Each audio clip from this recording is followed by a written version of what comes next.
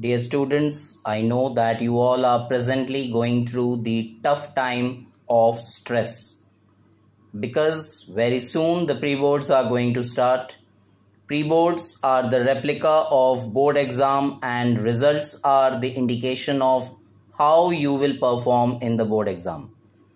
So, before you start preparing for your pre-board and board exam, let's understand the format of chemistry paper that's going to get conducted in the year 2023 so if you can see i have very clearly mentioned in this that there are total 35 questions in the paper. Section a consisting of 18 mcq questions which are of 1 marks each that means total of 18 marks.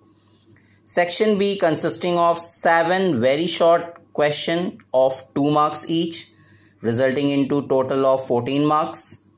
Section C consisting of 5 short answer type question of 3 marks each. That means 15 marks.